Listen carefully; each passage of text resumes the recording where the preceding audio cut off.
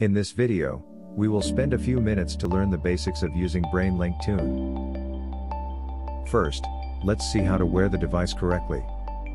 BrainLink Tune supports two ways of wearing. First, the clip-on wearing. When you only need to listen to music without the detection of brain waves, you can connect the module to the clip-on adapter accessory.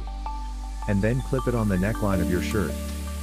The clip-on adapter can also be used as a tool to organize the earphone wires, to avoid tangling and knotting. When you use modes such as the Pomodoro mode, silent mode, or meditation mode, you need to use another way of wearing, the headband wearing. First, connect the module to the headband accessories, and press the tail buckle tightly. Wear the headband from the top, then put on the headphones, place the three metal sensors 2 to 3 centimeters above the eyebrows. Make sure sensors are in contact with the forehead and avoid any hair blocking the sensors. You can also adjust the elastic band on the back to fit your head better. The power button of BrainLink Tune is located on the surface of the module, press it and hold for 1 second to turn it on, or off. After turning on, the first default mode is the music mode. In this mode, the battery life is 8 hours. Then, single click on the button to switch between different modes.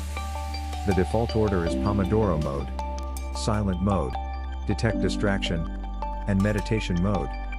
In the settings of the app, you can disable the selected modes, or rearrange their orders. Due to the significant computation of brainwave data processing, the battery life in these modes is 2 to 3 hours. You can still listen to your favorite music, white noises, or guided meditation voice scripts in these modes, it will not affect the collection of brainwaves data there is not much difference in the procedure of Bluetooth pairing between BrainLink Tune and other Bluetooth devices. First, make sure your mobile phone's Bluetooth is on, and then turn on the BrainLink Tune device.